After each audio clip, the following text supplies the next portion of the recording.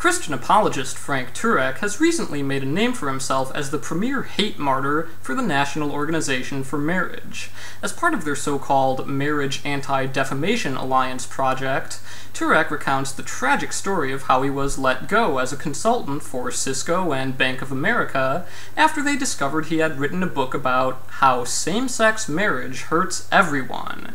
In reality, his views on homosexuality go far beyond merely opposing gay marriage, and he neglects to mention his history of claiming that gay people are on the road to destruction, that they hate Western civilization, that they're predisposed to bad behavior comparable to pedophilia and alcoholism, that they should be banned from the military, and that they're acting like racists by seeking legal recognition of their marriages.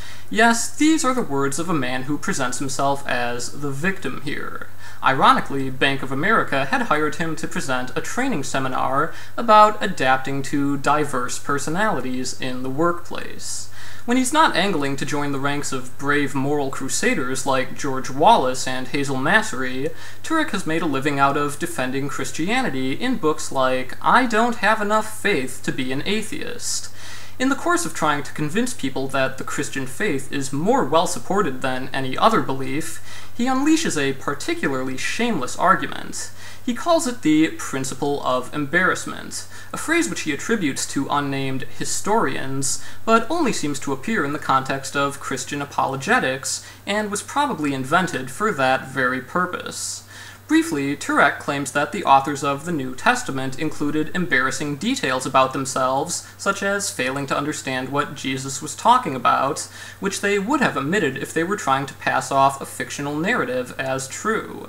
He contends that there would be no reason to make themselves look bad rather than good if they were making it all up. He also refers to this as the duh factor. However, for any of these things to be genuinely embarrassing to their authors, they would first have to be true. And how do we know that they're true? This would require that the New Testament is true. But the truth of the New Testament is exactly what Turek is trying to establish by citing these supposedly embarrassing details. If we don't know that the New Testament is true, then we don't know that the embarrassing incidents in the New Testament are true either. And if we simply assume that these details of the New Testament are true, then we could just as well assume that the entire New Testament is true, without having to appeal to any of these embarrassing details. With this oversight, Turek has failed to establish the truth of either. More crucially, the fatal flaw of this criterion of embarrassment is that Turek and his fellow apologists do not have privileged access to this concept. They're certainly not the most uniquely brilliant people on Earth, and if they were able to imagine that such a standard could be used to judge the believability of a given narrative, then why couldn't others realize this as well? Couldn't they anticipate this principle, and thus account for it when writing these stories? If you want your fictional narrative to be seen as believable, then why wouldn't you aim to fulfill this requirement? Even stories that are acknowledged as fiction from the outset still have to maintain a degree of believability by making their characters realistically flawed. Failing to do so, and instead writing all of them as utterly perfect, makes the story unrelatable and generally intolerable to read. Frank Turek was not the first person to discover this.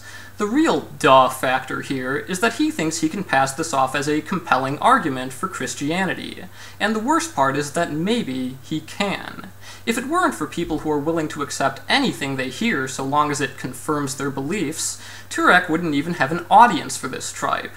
He's little more than a huckster peddling hollow justifications for faith to people who don't know better or just don't care, all the while knowing that a child could poke holes in this. Now that's an embarrassing detail.